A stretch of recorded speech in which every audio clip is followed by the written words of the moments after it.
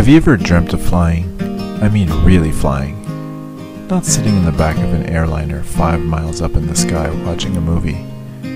I mean, moving through the air, interacting with the world in a totally different way, seeing everything that is in front of you, following every whim, going left, right, up, down, just because you feel like it.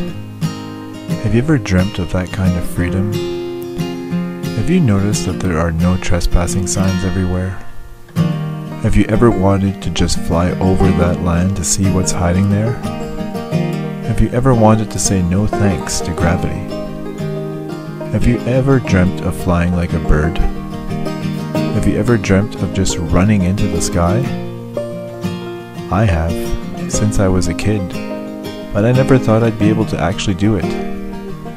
We are the first generation that has fully realized this dream. It all starts with a dream. If your dream looks like this, turn it into a reality.